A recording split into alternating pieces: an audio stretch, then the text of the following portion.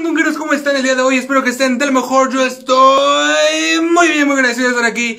Un video más con ustedes, una entrevista más con ustedes, un podcast más con ustedes.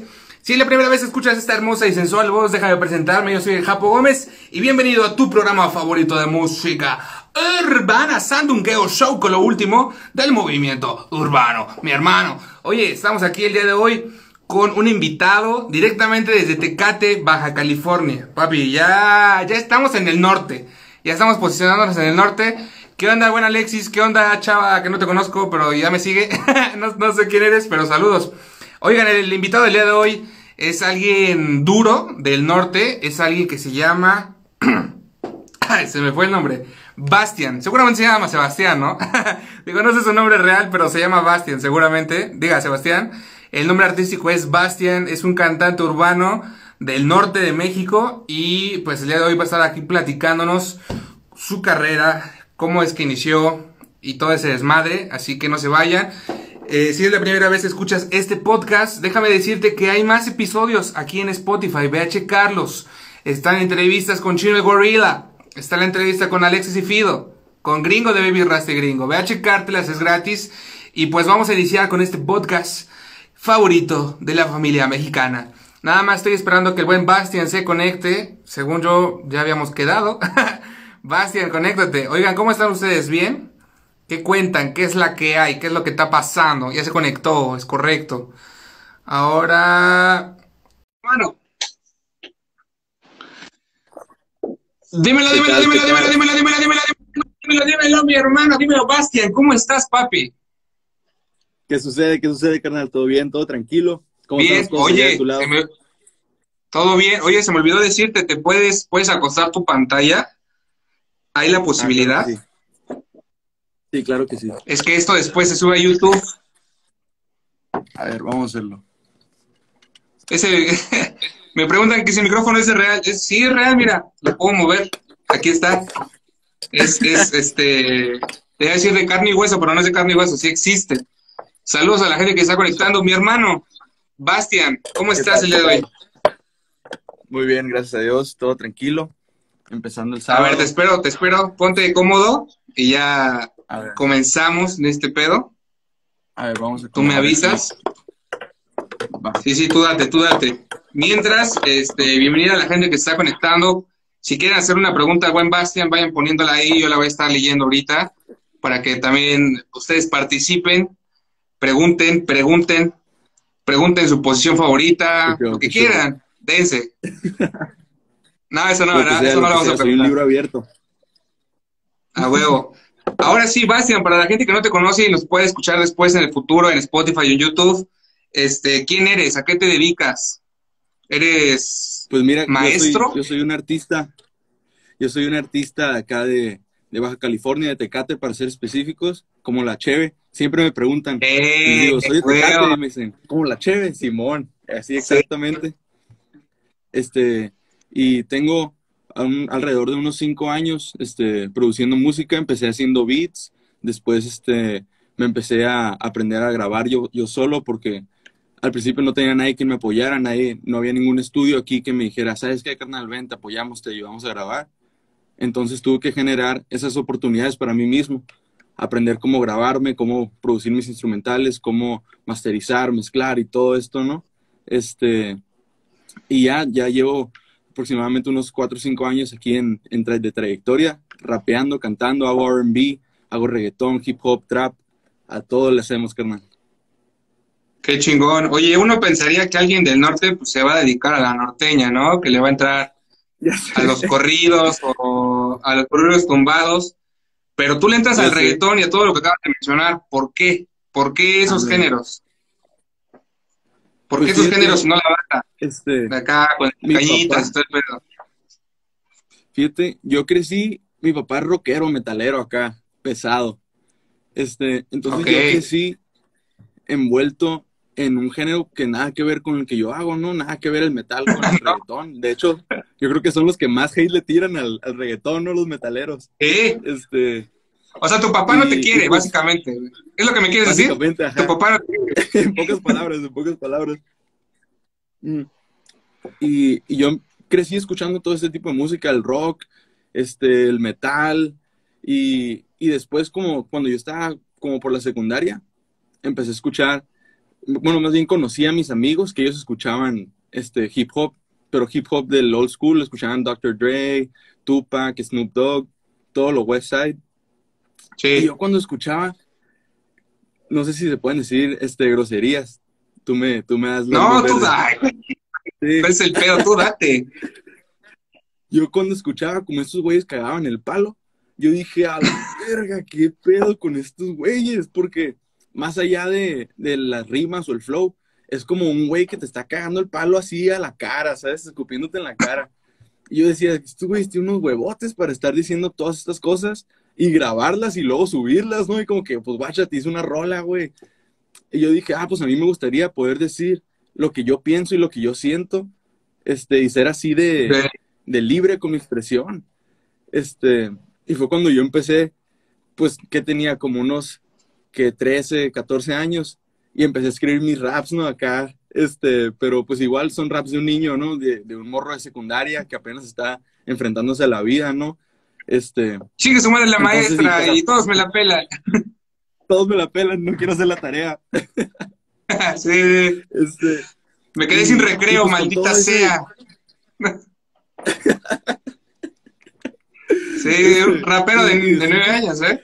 cargado de hormonas, sí, cargado de hormonas, un rap así, ¿sabes? Hormonal, este, ya quiero perder mi virginidad, así, este, Rolón. Y- Era rolón entonces, y entonces fue cuando yo empecé a entrar en contacto con toda la cultura urbana, ¿no? Que es todo el graffiti, los DJs, el- los b-boys, este, el hip hop, la calle y todo eso, y también las drogas, este, y pues no sé, me enamoré de la cultura, me enamoré de la cultura, más que, más allá del género musical, más allá de lo que es el hip hop, me enamoré de toda la cultura, de la comunidad que se hace alrededor de los DJs, alrededor del graffiti, alrededor de, de los b-boys, que son los que bailan breakdance. Este, Sí. y estar en ese ambiente me llenaba de vida y me- yo me sentía libre para ser quien yo quisiera ser, para poder decir lo que quería hacer y nadie me iba a juzgar y al contrario me apoyaban. Qué chingón. Oye, pero entonces, cuando empezaste, ¿cuántos años tenías? Dices, ¿secundaria qué? ¿O prepa? Ajá, sí, tenía alrededor de unos 13, 14 años cuando empecé apenas a escribir mis primeros rapsitos. ¿Y qué te decía tu papá? ¿Qué te decía tu jefe? Ah, muy acá. ¿Qué te decía el rockerón de la familia? Al principio se lo escondía, se lo escondía para hacerte una- era era rapero de closet, ahora sí. este sí se, se lo escondía. Este, pero después me imagino como que él solito se fue dando cuenta, ¿no? Yo nunca, al principio yo no tomaba el paso ese de decir, mira, pa, la rola que escribí, la rola que hice. Este, yo creo que cuando él se dio cuenta fue cuando lo invité a mi primer show. Este, Verde. fue mi primer show. Cuéntame ese show. Le abrí a un, a un, a un rapero que se llama Longshot. Este, Sí. que es Sí, sí, lo aquí de ubico. la escena nacional, ¿no? Sí, muy, muy bumbapero. Este, y, Tú le abriste. Sí, exacto. Para, Este, para cuando rap abriste, ¿cuánto más- llevabas de música? ¿Perdón? Para cuando tú le abres, ¿cuánto llevabas tú en la música? Pues yo, yo creo que ya era como, estaba como en segundo, tercero de prepa, entonces yo creo que ya iban como unos tres añitos. Eh, este, pero en verdad todavía Nice. no me tomaba tan en serio yo mismo. Mi proyecto, yo todavía no me lo tomaba tan en serio, ¿sabes? Todavía estaba en esa otra mentalidad como de, pues hago rolas, estoy con mis compas, fumo weed, pisteo y estoy a gusto, ¿sabes? Yo tenía esa mentalidad en ese entonces, como que todavía no me tomaba mi trabajo tan en serio, ¿no? Este, y entonces se me presenta esta oportunidad y, y yo, pues ya, ya ves, ¿no? Al principio de la carrera uno no siempre tiene la conciencia de cómo manejar un proyecto, ¿no? Un proyecto musical, una propuesta. Este, y me entró la loquera y borré todas mis rolas y empecé a hacer rolas nuevas. Este, y entonces, según yo, con mi nuevo proyecto apenas tenía como cinco rolas, tres rolas, algo así. Y de la nada me habla un güey, un promotor de aquí de Tecate que es muy conocido, el Rubén. Un saludo al Rubén. Este, y, y me dice, eh, güey, este, tú rapeas, ¿verdad? Y le digo, Simón. Y me dice, es que me acaba de cancelar un rapero y ocupo que cantes pasado mañana. Hijo de la verga, yo pues sobres, ¿no? Pero ¿cómo, cuándo, dónde? Y ya me dice que el long shot, que así, que así, en un bar que se llamaba La Tasca, aquí en mi pueblo natal, en Tecate. Y pues sobres, ¿no? Armé mi setcito de, de cuatro o cinco rolas, este, y se armó, y pero yo, o sea, para este momento yo era, era apenas mi primer show, así como que formal, ¿no? Lejos de estar rapeando en la cuadra o de estar rapeando con los compas. Era mi primer show acá con un sonido, una mezcladora. Y pues yo bien emocionado. Apá, qué show, pues voy a cantar. Y pues mi papá feliz de la vida, sí, sí, no, no me hizo el feo, sí me apoyó. Este, ya hasta lo torcí una vez ahí en el show, moviendo la cabeza así con mis rolas. Nice, este, nice. Sí. Ya lo, lo, convertiste, como se diría. Lo convertí, lo convertí al reggaetón y al hip hop. Cool. Lo que deseó destruir. Lo, lo, que, lo que juró destruir. ¿Das tu primer show? ¿Te, pagaron por ese show o fuiste por amor al arte? Por amor al arte y unas caguas. Lo que es. Bien.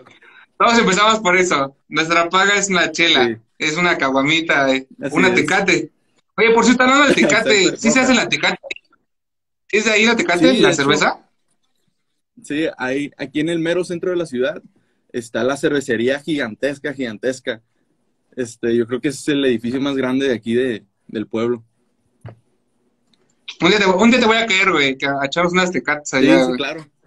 Sí, aquí están las puertas. Y fíjate, hay algo bien curioso que se le llama el jardín cerveza, aquí en, en Tecate, en la cervecería que tú llegas, presentas tu, tu, IFE o tu INE en la entrada este, y te dan un boletito. Y ya no te dejan pasar al jardín y hay una barra. Y tú le presentas tu boletito al vato que está atendiendo en la barra y te dan una cheve gratis. Este, y así, pero no, te dan todos los días, el resto te la venden. Sí. Bien, está, chido. Ok, pero entonces naces en Tecate, empiezas a, empiezas a rapear por, por tus amigos que te van metiendo en, en el pedo este, te empieza a gustar la cultura y empiezas con el reggaetón. Bueno, das tu primer show. A raíz de ese show, ¿ya te empiezas a profesionalizar en este pedo? O sea, ya dices, pues creo que sí se pues puede dar, vamos a meterle bien. Pues fíjate que fue algo, algo del estilo. Veo aquí que me está comentando un compa, R Nova, Only the OGs. Ese era mi nombre de rapero en ese tiempo, R Nova. Ah, ok. Este, y ya luego lo convertí a, a lo que es Bastian. Pero a huevo, un saludo, mi carnal. Seguimos firmes, seguimos activos. Y este, te digo, después de ese show, se me empezaron a abrir muchísimas puertas y más oportunidades. Yo creo porque, pues, en ese show, más que nada, pues sí prendía a la gente, ¿no? Que es en lo que se fijan los promotores. Como que, ah, no, pues sí prendió a gente. Entonces, para el siguiente show, a lo mejor jala más raza y así. Y me empezaron a invitar, pero yo seguía con la mentalidad de, de morro de barrio, ¿no? Del morro que, que están nomás divirtiéndose. Este, y entonces, de hecho, lo que me causó es que empecé a pistear muchísimo más y a drogarme muchísimo más. Este, y ahí hasta se podría decir perderme, ¿no? Perderme más en, en esa mentalidad. Este, y cuando yo te podría decir que empecé a tomar más en serio mi, mi, mi trabajo, ¿no? Mi proyecto, fue hace como dos años, este, cuando eh, adopté este nuevo, este nuevo seudónimo de Bastian, que empecé este nuevo proyecto. Este, y toda mi mentalidad cambió. Este, conseguí un manager, un manejador. Este, fundé mi propia disquera, que es Campo Santo Media. Este, empecé a invertir en equipo. Este, de hecho, dejé de drogarme, dejé de tomar. Este, estoy 100% limpio. Ya tengo tres años. Muchas gracias. Muchas gracias. Felicidades, papi. Y este, y más que nada, fue como el cambio ese de decir, pues, güey, o sea, decide, ¿no? Siento como que llegó un punto en el que yo me dije a mí mismo, tienes que decidir, cabrón. Si lo vas a hacer o no lo vas a hacer. ¿Le vas a echar ganas o no le vas a echar ganas? O quieres ser uno de cualquier, de cientos de miles, ¿no? De personas que quieren, este, este... Iniciar su carrera. Ándale, exactamente. Este, y dije, no, pues de, de lleno, ¿no? Me aventé de cabeza y empecé a comprar mi equipo, empecé, no, mis bocinas, que mi teclado, mi micrófono, mi interfaz. De hecho, ahorita estoy construyendo un estudio junto con mi manejador, que se convirtió en mi socio. ¿Con el Moy? Sí, ándale, con Simón. Ah, este, Simón, Simón, se me va Simón, Simón, saludos. Sí, un saludo. con Simón, mi hermanote. Ese güey, neta, que es gangota, sí, es OG. Gracias a él he podido ir a cantar a, a DF, a Monterrey, a Guadalajara. Él me mueve mucho, el mejor manager en el juego, mi carnal. ¿Cómo lo este, conocí? Hablando, porque yo siento que sí es una ficha importante dentro de, del proyecto Bastia. ¿Cómo llega él a tu vida? De hecho, ¿Cómo se enamoraron? De hecho, mucha gente piensa que yo le digo mi hermano, mi carnal de, de juego, pero es mi hermano de sangre. ¿Ah, neta? Sí, sí, es mi hermano, es mi hermano. Este, Y de hecho, tomó un, un, paso muy, como que muy diferente, ¿no? Al, al, tiempo cuando yo le pedí que fuera mi manejador. Y fue algo como que los dos supimos más o menos, como que él siempre me ha apoyado, siempre me ha apoyado en todo lo que hago. Este, Simón Fan Account, un, saludo. I'm Lucifer's Human, la pinche Daneí, qué rollo. Este, acá están comentando. Este, yo cuando empecé a tomar mi proyecto más en serio, le, le como que él notó ese cambio en mí, no sabría cómo decirlo, como que él notó que yo me estaba buscando oportunidades a mí mismo, este, que me estaba tratando de, de llevar a la, al, al, centro de la República a cantar, que estaba tratando de armar un tour aquí en, en Baja California.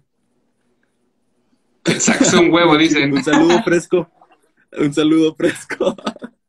es un compa de, de Ensenada. Un saludote, Maggi. Sácate un huevo para cotorrear, güey. De, de, puro cotorreo. Este, y entonces, cuando, cuando Simón nota ese cambio en mí, este, él me empezó a ayudar a, a buscar lugares en donde presentarme. Ah, y pues, eh, la verdad, él empieza a ver que, que, él empieza a ver que te vas a enfocar y dice, pues yo también le entro al pedo.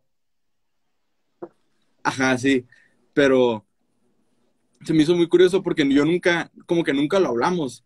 Más que nada, pues como es mi hermano, yo siempre le he tenido toda la confianza del mundo.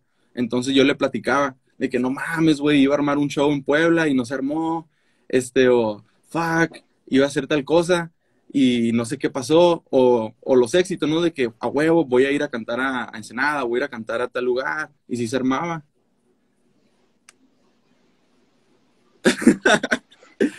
Pero yo opino que es una cura que traemos, la de los lentes. Yo opino que el, el emoji de los lentes. Este, entonces, este, yo le platicaba todo esto a mi carnal con un chorro de confianza, ¿no? De que, carnal, este, no, que a huevo, y no, me conseguí esta oportunidad. Y un día, él llegó conmigo y me dijo, guacha, güey, este, me topé con este festival en Tijuana, que están buscando a, a raperos o proyectos, y te metí, güey eh, para que vayas a cantar.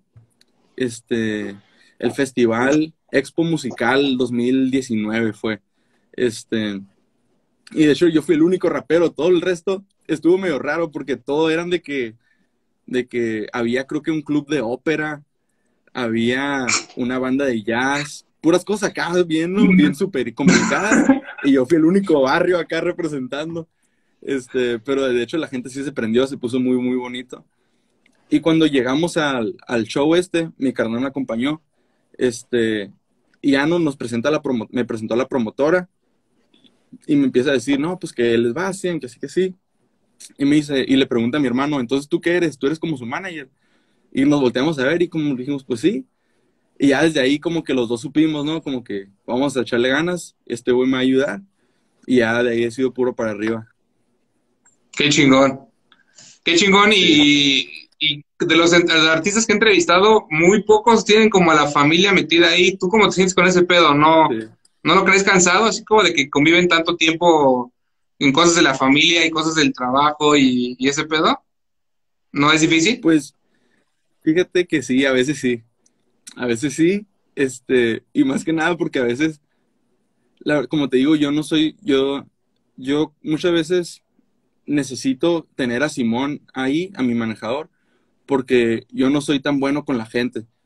Este, soy muchas veces medio mamón o gruñón, este, o como que tengo un carácter poquito más fuerte. Y él es bien alivianado, así súper tranquis. Y, entonces muchas veces necesito que él esté ahí, ¿no? Y a veces, ¿no? De que se va a presentar una oportunidad o algo, y tenemos, y lo platicamos, ¿no? De que tú qué opinas, que se arme el fit con este güey, o si quieres ir a cantar este evento, y ya no decimos, no, pero acuérdate que está este otro evento, entonces, o sea, no, para que no vayan a chocar las fechas o X o Y, ¿no? Cosas de, de logística. Este, Sí. Y a veces pues estamos en desacuerdo. Y como yo tengo un carácter a veces un poquito más fuerte, le digo, güey, pero pues si yo no lo quiero hacer, pues no lo tengo que hacer. Y me dice, sí, pero yo soy tu maestro, vale verga lo que tú digas, así acá, lo vas a hacer porque yo te estoy diciendo. Este, y, y pues ya muchas veces sí chocamos, pero al fin de cuentas yo nomás digo, está bien, o sea, yo confío mucho en él y su visión. Este, entonces le digo, va, si así lo quieres hacer, pues así le damos. Este, siempre acabo, siempre acabo yo cediendo, porque la verdad es que sí, la mayoría de las cosas que, con la- en las que estamos en desacuerdo, yo tomo su lado, ¿no? Digo, está bien, pues ya al final de cuentas vamos a darle como tú dices y las cosas salen mejor, ¿no? Mejor de lo que yo esperaba. Entonces ya es como que, pues, güey, o sea, si ya sé que, que va a salir todo bien, si lo hacemos como él dice, pues mejor lo hacemos así. Qué chingón. Oye, te voy a hacer la pregunta que está haciendo la gente. Yo te la iba a hacer después, pero ya le ver. preguntando, así que de una vez. ¿Cómo es tu proceso creativo? ¿Cómo salen las rolas? Porque tú dices que tú solito te produces, ¿no? Tú solito le haces todo el, el business. Así es. Sí, así es. De hecho, ahorita O ya estamos tienes aquí, que estoy aquí en el estudio. Ahorita estoy aquí en el estudio para que vean. Aquí tengo mi tecladito, mi setup de bocinas. Ah, por allá atrás está el micrófono, Nice. nomás que no se alcanza a ver porque está muy oscuro. Este, Sí, güey. pero así Sí. es, así es. Yo me, yo me encargo de hacer todo, todos mis jales. Ah, much- muchas veces también puedo, le pido ayuda, ¿no? Ahora ya hay más productores aquí en Tecate con quienes colaborar. Inclusive estamos conectados con la escena de Ensenada, con la escena de Tijuana, de Mexicali. Entonces somos, somos una escena muy unida acá en Baja California. Un saludo al Fresco, este, un saludo al Casay de Tijuana, un saludo a Pilgrim de Mexicali, este, a toda mi banda. Y muchas veces nos conectamos ahí, ¿no? De que, güey, ¿sabes qué? Tengo esta rola, no sé qué hacerle, ayúdame. Este, pero la mayoría del tiempo yo me encargo de todos mis, mis proyectos. Y fíjate que es muy curioso, este, porque no sabría cómo, cómo explicártelo. Porque muchas veces hago primero un instrumental, traigo, traigo un sentimiento atorado, ¿no? Digo, la verga, hoy me siento bien encabronado, hoy me siento enojado. O, o no sé, hoy está lloviendo y se me antoja algo acá más, más low-fi, ¿no? Algo Más más, chill. gusto. Ajá, Sí. y ya no me pongo a hacer el beat. O a veces que digo, traigo esta madre atorada y lo ocupo sacar en una letra, ¿no? Y sobres y empiezo a echar pluma y saca, echo una, acá uno, una letra. O muchas veces ah, voy haciendo el beat y al mismo tiempo se me empieza a ocurrir la letra. Este, hago las dos al mismo tiempo, ¿no? Al paralelo. Este, o muchas veces también, nomás voy, no sé, me acuerdo, yo por un momento viví en Guadalajara y ahí cambió mucho mi, cambió mucho mi proceso creativo porque yo tendía, aquí en, en Tecate es una ciudad chica, este, no es tan grande, ¿no? Como lo llega a ser Guadalajara o DF, CDMX, que es pues, ciudades inmensas, ¿no? Las más grandes de, de México. Entonces, pues para todos lados que iba, a veces se me iba a pie. Pero llegaba en breve y así. Y, y cuando empecé a vivir en Guadalajara, me subí al camión, iba chill acá nomás, ya me ponía mis audífonos y ponía instrumentales de YouTube o de donde sea y agarraba inspiración y ya me ponía a escribir. Este, ya cuando llegaba a mi cantón, ya me aventaba el beat para la letra que había escrito. Este, y así, fíjate que es muy, es muy cambiante y muy variante. Este, también de hecho hago fotografía. Este, entonces muchas veces, se- y eso se me hace muy curioso que digo, traigo algo que quiero sacar, ¿no? Dentro de mí y trato de hacer un beat, pero no me sale, no me sale en instrumental, pero sí me sale en letra. Y muchas veces traigo el feeling y lo quiero sacar en letra, pero me sale mejor en un beat. O muchas veces me sale mejor en fotografía. Se me hace muy, muy curioso eso. Este, pero sí es un proceso muy como un árbol, ¿no? Con muchas, muchas ramas, muchas variantes. Sí. Ok, pinche hombre artístico al parecer. Pinche hombre de, de caja de monerías. O sea, le sabes a todo. Pero es- ¿estudiaste? ¿Estudiaste? ¿Te preparaste? ¿Con, con quién te enseñó a producir? Sí, fíjate que la mayoría de las cosas las aprendí yo solo. Este, las aprendí yo solito. Y como te dije, yo ya tenía como desde la secundaria dándole estos jales, entonces me sentía yo en un nivel muy, muy cómodo, ¿no? De producción, de nivel de producción. Y me fui a estudiar a Guadalajara, por eso me fui a vivir para allá, porque me fui a estudiar producción musical. Entonces yo llego a Guadalajara y todas las cosas que me, que me estaban enseñando, según yo ya las sabía. Y yo le decía a mi profe, güey, pero pues estas cosas yo las aprendí en YouTube, ¿sabes cómo? Estas cosas yo ya me las sé. Este, mejor enséñame otras cosas. Y ahí él como que me tomó más personalizado y me, enseñaba a mí nomás, me, me, iba a mi propio paso, ¿sabes cómo? Me enseñaba las cosas que, que yo necesitaba saber ya un poquito más adelantadas. Y estuve, estuve ahí nomás un semestre. Y llegó el punto en el que dije, no, pues o sea, si todo esto ya me lo sé, pues para qué estoy pagando, ¿no? Mejor pues, que chingue su madre este güey. Este, y ya me salí, me salí de, de, esa universidad. Este, y todo el resto de lo que he aprendido es igual, yo solo, a prueba y error. Este, y más que nada yo creo que es eso, ¿no? Porque yo tenía un profe que me decía mucho, lo único, lo único cierto en la música es que no hay, no hay, no hay ni un error, ¿sabes cómo? Si suena bien, está bien. No hay manera de, de decir, eso, o sea, no se puede hablar en absolutos. No te puedo decir, esta es la única manera en la que se puede hacer y no se puede hacer de ninguna otra manera, ¿sabes? Porque ese güey te está mintiendo.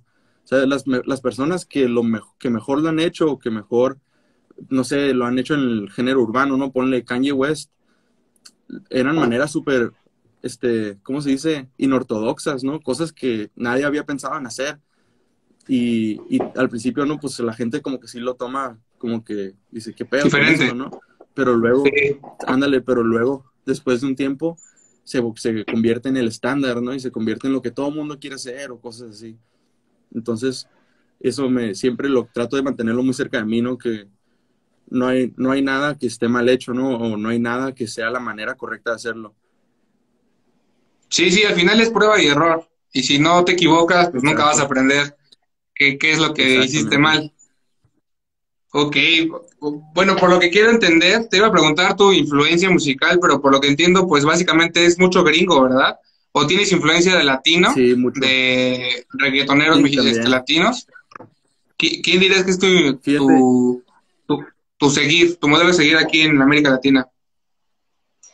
Fíjate que, y está bien cabrón, yo creo que cuando yo iba empezando a hacer mis rolas, yo veía a Dan Cruz como el top yo veía a Dan Cruz como el jefe, yo decía, ese güey, porque traía un estilo, traía un uh, no mames, ese güey llegó a ser inclusive más grande que Alemán en esos tiempos, ¿no?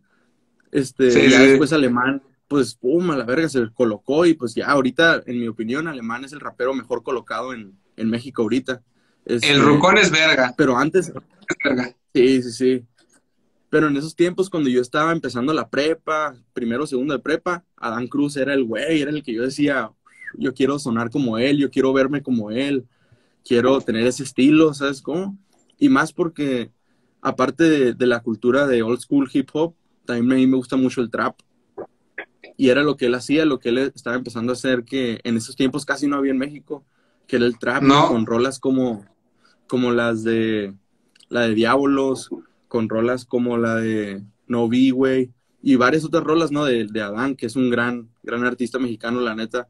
Este, últimamente casi no le he seguido el paso, no sé qué, qué ha estado haciendo últimamente, ¿no? Adán Cruz, este, pero en esos tiempos ese güey fue el que me inspiró, ¿no? A decir, a huevo, yo también quiero, ¿no? Yo también puedo. Este, lejos de ahí, pues mis bases fue Cártel de Santa, la neta, este, rolas como El Cabrón, o rolas como Conexión Vieja Escuela, del volumen prohibido. Eran rolas que yo decía, güey, esta madre está pasando en México. Yo los veía como Tupac y Biggie mexicanos, ¿sabes? El Darius y el sí, Yo decía, la verga, qué pedo con estos güeyes. Control Machete, este, toda esa ola, Be Real, este, digo, Cypress Hill, pues todo, toda la clica, pero más que nada Be Real. Como putos este, rockstars, ¿no? Eran los rockstars de aquí de México. Sí, para mí eran así de que, güey, este, y ahora como ha ido fluctuando todo, ¿no? Este, se me hace muy curioso el cambio que hemos dado de, de como old school hip hop, ¿no? De ese como más, más así, Babo, Darius, Cartel, ahora el trap, ¿no? Más alemán, más este, Adam Cruz, más ese estilo nuevo, que es más refrescante, ¿no? que es más el estilo que yo hago, más trap, este, y yo creo más calle. Ajá, un poquito más trap, más que nada el sonido, ¿no? Tantito más electrónico. Este. Y, y yo creo que mi, mi, influencia máxima aquí en México, cuando yo empezando fue Adán Cruz, sí. Adán. Duro. Oye, papi, estoy viendo tu canal de YouTube ahorita, que es lo que estaba buscando. No es porque no te estaba haciendo caso, güey. Estaba buscando tu canal. Y la última rola que sacaste ya tiene dos meses. Ahorita tienes planeado sacar nueva música. ¿Te gustaría sacar un EP para probar suerte? ¿Qué sigue ahorita en tu carrera? Fíjate que ahorita, este, estamos entre, pues ya ves, nos pegó bien duro la cuarentena y yo no estuve trabajando, no estuve, o sea, cerré, abrí, cerré las puertas del estudio, o sea, ya no podía venir gente a grabar por cuestiones de seguridad y salud. Y pues me encerré y estuve haciendo un chingo de rolas, un chingo, un chingo, un chingo de rolas. Yo creo que ahorita, si quiero, puedo sacar un disco de doble, ¿sabes? Un disco de dos discos en uno. Pero no sé, como, como es tanta música, si quiero como que dejar que se asiente, ¿no? Dejar que se, que se calmen mis, mis ánimos y poder ver bien como que, ah, esta rola es la siguiente o esta rola es la siguiente, porque tengo muchas, muchas canciones y llega a ser abrumador, ¿no? A veces como que decir, ay, güey, pues tengo, tengo, o sea, como si vas a un, a un puesto de tortas, pues ya sabes que vas a agarrar una torta de algo, ¿no? Pero si a un restaurante en el que te sirven 20 diferentes platillos, pues ocupas ver el menú un rato, ¿no? Este, en esas ando ahorita todavía viendo, viendo, viendo. Este, y de hecho, un grito estoy muy, muy agradecido por el éxito que han tenido mis últimos releases, como Calor, como 8055, este, que los han llevado a alturas. Creo que Calor ahorita ya está en 17 mil reproducciones. Sí, también la de Yo te lo hago ya llegó a 20. Ah, sí, yo te lo hago mejor, 20 mil. También en, en Spotify mi canción de Lo que tú quieras. Hace como un mes celebramos los 140 mil reproducciones, los 140 mil streams. Este, y ah, perro. Más que nada, pues agradecido. Sí, agradecido inmensamente con, con mi gente, la gente que me apoya, que escucha mi música y los que están pendientes para el siguiente show, porque yo eso es lo que más ando bien cabras, ando bien cabras por darle un show, un show en vivo. Pues esperamos que pronto, güey. Digo, por como ven las cosas, yo creo que el próximo año, nene.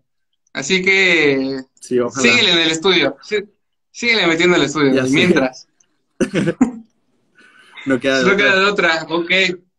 Entonces, ahorita bien, bien planeado una rola, todavía no hay fecha. No, todavía no hay fecha, pero, pero, hijo de su pinche madre, es que tengo unas bombas ahí guardadas. Este, nomás les quiero decir que estén atentos porque la neta lo que viene va a estar pesadísimo, pesadísimo, pesadísimo. Este, y pues ya ven, estamos, estamos atentos y estamos al tiro porque este, no me gusta hacer las cosas a medias, ¿no? Lo que sea que vaya a sacar va a ser de calidad máxima, de la mejor calidad que pueda yo tener a mi disposición para ofrecerles lo mejor a mi gente y a mi público, ¿no? Qué chingón. Oye, papi, pues antes de terminar, te voy a hacer la pregunta obligatoria, que es con la que yo cierro las entrevistas. Y es, a ver, a ver. antes de, bueno, antes de hacértela es, primero, ¿por qué Bastian? ¿Te llamas Sebastián? Exactamente. Sí, ah, ok. Yo tenía esa duda, de que ¿la estoy cagando o, por qué el nombre de Bastian? no, sí. Sí, de hecho. No, te ok, ahora sí. Ah, ok, va, espera, espera. No, no, no, dime por qué. Sí. Ah, es porque cuando yo estaba chiquito había una, una caricatura que se llamaba The Never Ending Story en inglés, no sé, no me acuerdo en español cómo se llamaba, pero salía un, Ni puta idea. que se llama Bastian Baltasar se llama Bastian Baltasar, y el güey se montaba como en un perro gigante que flotaba, güey. Este, la historia de nunca acabar, algo así se llamaba, no me acuerdo. Este, sí fumabas mucha mota, ¿verdad? Sí, fumabas demasiado. un putero. Este, y entonces, como yo, a mí me gustaba un chingo esa caricatura cuando estaba chiquito, mi jefita me empezó a decir Bastian, Bastian Baltasar, Bastian Baltasar. Y ya, pues cuando a la hora de cambiar de proyecto del pasado uno querer renova, agarrar esta nueva, esta nueva identidad, este nuevo proyecto, dije, pues de volada, ¿no? Bastian. Bastian. Es buen nombre, ¿eh? Es buen nombre, sí, es este, fácil de recordar. Ok, ahora sí, la pregunta con la que cierro es, tus tres momentos más importantes en tu carrera, buenos o malos, pero que te han enseñado algo. Hijo de la chingada. Ok yo creo que uno de ellos fue este, una vez que canté en un bar en Tijuana, que se llama La Oficina. Este, yo vi que estaban, vi una publicación que compartieron unos amigos en, en Facebook, que era, decía como que comenta aquí para tener la oportunidad de presentarte en la oficina, ¿no? Y pues un chingo de gente comentando, un chingo, un chingo de gente de esas publicaciones, ¿no? De que clickbait, básicamente. Sí. Ya no, yo comenté sobres. Y luego me mandan un mensaje, no, pues cállale para que te presentes, que así así. Y me dicen, nomás puedes tocar dos rolas. Y yo, no, pues, fuck, no, pero vámonos recio. Este, ahí les caigo y los veo. Ya, fum, llegué a la oficina. Ya no, y esperé. Y resulta que, pues, casi, casi todo el mundo que comentó le dieron chance de tocar porque habían como unos 30 raperos, 20 raperos, habían un chingo de raperos. Este, y ya no me tocó a mí y me aventé mis dos rolas y a mi sorpresa, yo, esa fue la primera vez que toqué en Tijuana, de hecho. Este, ¿A qué distancia está de Tecate, güey? Está como a, como a 40 minutos. ah, está en este, corto. Sí, está en corto. Este, y entonces yo era un público nuevo, ¿no? Gente que yo no conocía, gente que nunca me había escuchado mi música. Y, y de hecho era más boom bap la escena de allá. Eh, o más bien a donde me fui a presentar ese bar. Y yo traía trap. Este, y que muchas veces le tiran hate, ¿no? Ya ves, este. Y entonces llego yo con mi trap y prendí a la raza, ¿no? Y se, se volvieron locos, güey, se volvieron locos. Por ahí tengo unos videos en mis highlights de mis historias ahí en Instagram, donde se ve cómo estuvo ese show salí bañado en cheve, todo, todo el mundo estaba aventando su cheve, no, sé por qué, se volvieron locos todos. ya no pasó, se puso bien chingón. Llego a mi casa y me mandan un mensaje y me dicen, oye, güey, ganaste. Y dije, pues qué chingados. Y le dije, ¿qué? Me dice, pues el show, era un concurso. Y yo le dije, ¿pero concurso de qué? Y me dicen, pues para ver quién se presentaba con GRMX. Y gracias a Dios gané ese concurso y me tocó presentarme con GRMX en el ICBC, en el Expo Rap. Este, no mames. Aquí en Tijuana, sí. Este, y estuvo chingoncísimo, un chingo de gente, una vibra hermosa. Y yo entonces, como que en mi mente, dije, güey, voy a aprovechar cualquier oportunidad que se cruce por mi camino, la voy a aprovechar, porque de un comentario en un post me llevó a poder presentarme con GRMX, ¿no? y un post que para mí era como, pues, ¿qué? Este post, ¿qué? No, era un flyer así, y comenten y mil comentarios. Y yo dije, pues, a ver, a ver, a lo mejor pega. Y gracias a Dios, ¿no? Ese, ese comentario me llevó a, a poderme presentar en ese show, este, que era un sueño mío, ¿no? Poder cantar con ese güey, que no mames, es uno de los exponentes más colocados de aquí también. Pesado. Este, ese es, ese es un momento pero entonces, ¿cuál es el momento? ¿El momento es el concurso o el momento es cantar con Jera? ¿O es todo en conjunto? Ajá, yo creo que todo, yo creo que todo. Ok, ese es buen momento, ¿eh? Algo que tiene que aprender la gente que está conectada, nunca sabes quién te está viendo. Nunca sabes cuál, cuál es la rola que te va a llevar al otro pinche nivel. Como tú dices, este, mejor de una vez entregar un proyecto bien, profesional, eh, con lo mejor que tengas a la mano, porque no sabes quién va a escuchar esa rola, güey. Capaz si te escucha pinche Kanye West y te quiere firmar a la verga, güey. No mames. Y más ahorita que vivimos en la etapa del internet, ¿no? De que todo el mundo está conectado con todo el mundo y quién sabe quién te pueda topar en qué momento, en qué parte del mundo, güey. Sí, está muy cabrón ese pedo, güey.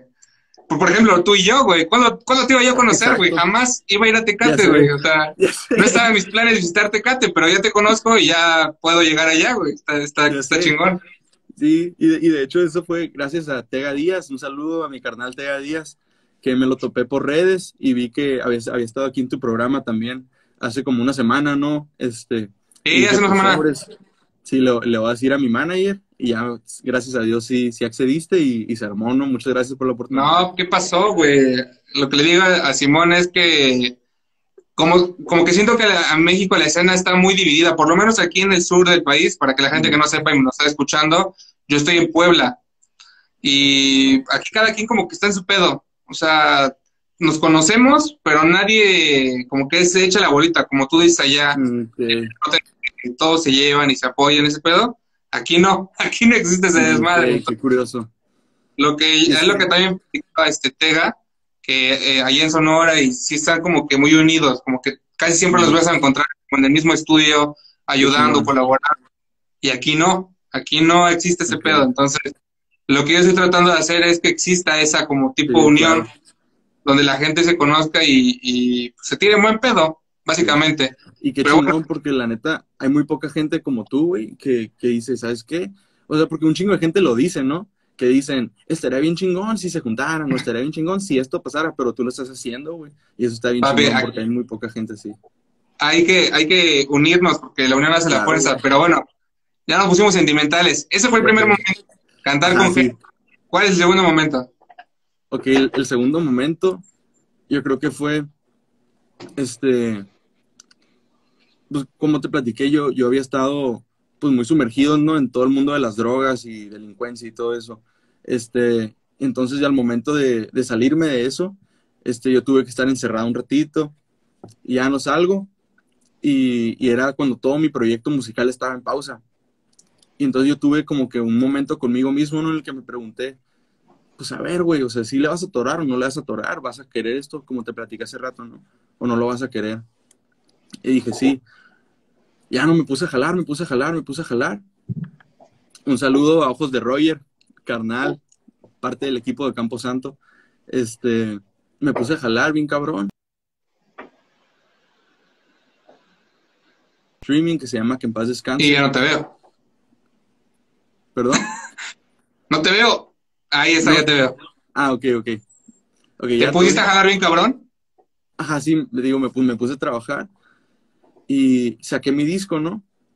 Y yo creo que el momento fue en el primer show que di después de haber estado encerrado, este, porque yo, o sea, con todo el cambio, ¿no? De, de, proyecto de Renault a Bastian, y luego estuve desafanado como unos dos años que nadie supo nada de mí, este, y pasó todo ese tiempo, ¿no? Y yo salí de vuelta y dije como que no, pues, o sea, soy irrelevante ahorita, ¿no? A nadie le va a importar si yo hago algo. Entonces me puse a trabajar, ¿no? Volver a generar ese movimiento, volver a generar este, ese seguimiento, pues, de la gente. Y ya no iba a dar mi primer show después de todo, después de mucho tiempo. Y yo dije, güey, si nadie viene, güey, y si se pone bien culero, güey, y si falla el sonido, y si se me olvidan las letras, y si un chingo de cosas, ¿no? Como si hubiera sido mi primer show con Longshot, ¿no? De hecho, eh, yo creo que este primer show la pensé muchísimo más que mi primer show. Ajá. Este, yo en mi mente dije, no mames, pues nadie va a venir de seguro. Y ya no fue, pues ni pedo, no lo armé. Armamos el sonido, el spot, todo, y le, le metí muchísimo dinero también de promoción.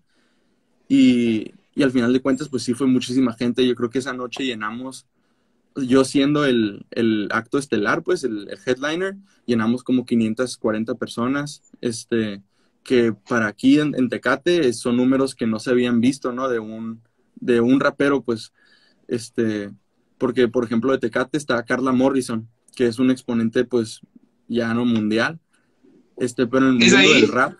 Sí, es de Tecate, Carla Morrison. Ah, mames, no sabía. Sí, sí.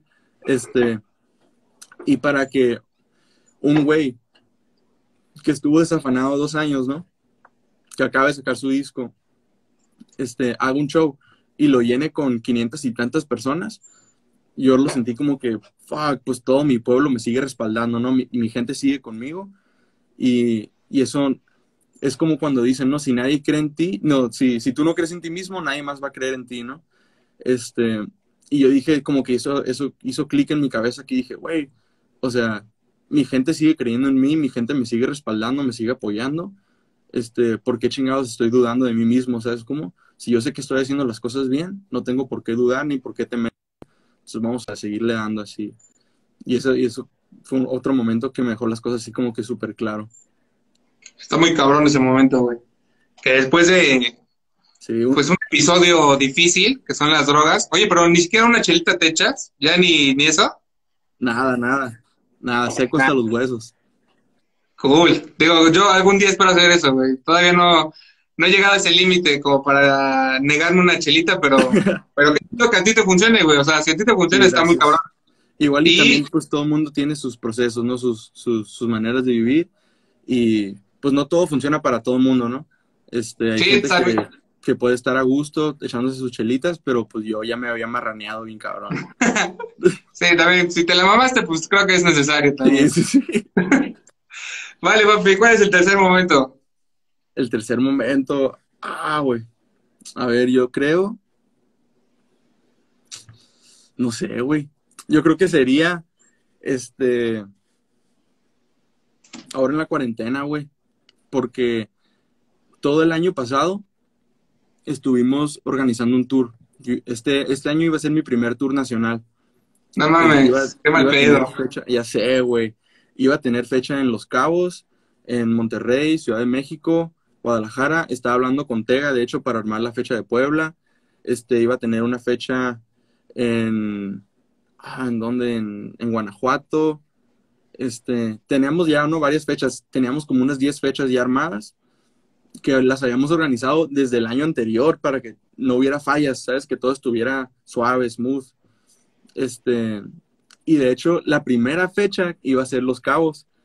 Iba a ser febrero, el no sé qué de febrero. Y justo ese, como dos días antes de empezar el, tour, justo antes de esa fecha, salió el comunicado ¿no? nacional de que todos los eventos públicos, tal, tal, tal, y nadie puede hacer nada hijo de la, no mames, todo así, ver como todo se me cayó frente a mis ojos, güey. Y luego no era trabajo nomás mío, ¿no? Era trabajo también de mi, de mi hermano, de mi manejador. Este, y entonces fue como que, fuck, güey, o sea, todo el jale que metimos para que nos lo escupieran de regreso en la cara, ¿sabes cómo? Y tener que lidiar con eso y poder decir, no, ¿sabes qué? No hay falla, lo podemos armar el siguiente año, ¿no? O después.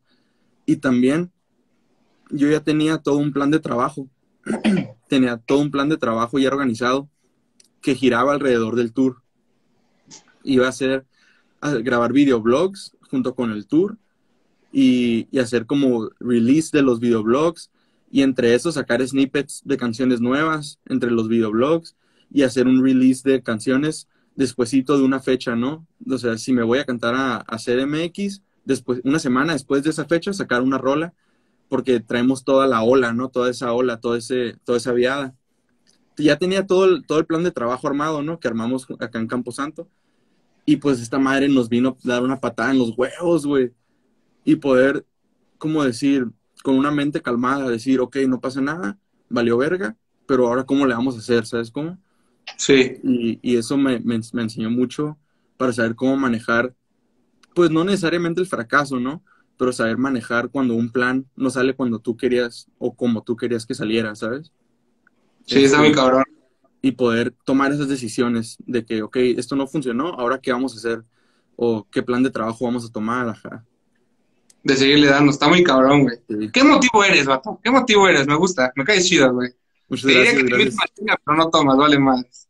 ¿Qué, qué te tomas? ¿Quieres un juguito o a qué le entras? agua mineral, güey. Me hice bien acá con el agua mineral. Me hice adicto al agua mineral bien cabrón, güey. Te, invito a un agua mineral. Me quedes bien. Chócalas a distancia, güey. A huevo, huevo. Oye, papi, pues ya, ya nos aventamos una hora. Ya es hora de despedirnos. Y antes de despedirnos, ¿algo más que quieres agregar? Nomás que seguimos activos y estamos pendientes. Venimos con todo. Un mensaje para mis haters. Voy por ustedes. Un mensaje para mis canales que me apoyan. Estoy con ustedes, cabrones. Vámonos recio. Luego. Qué chingón. Pues, este, Bastian, Sebastián, gracias por tu tiempo, mi hermano, por tu espacio. Gracias a ti, gracias a ti.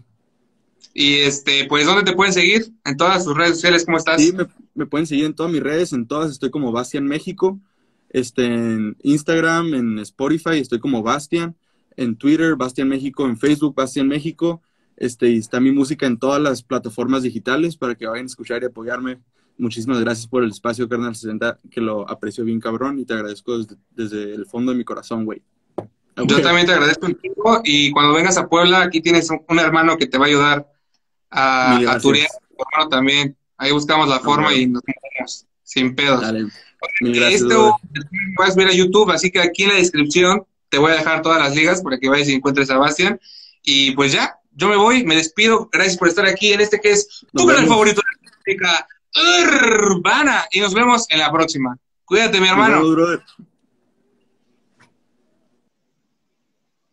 Y pues ya, mi gente, gracias por estar aquí. Un episodio más en este tu podcast favorito de música urbana. Yo soy el Japo Gómez. Síganme en todas las redes sociales. Aquí en la descripción te estoy dejando las ligas. Esta entrevista se va a quedar aquí en Instagram TV por si la quieres ver después y compartir.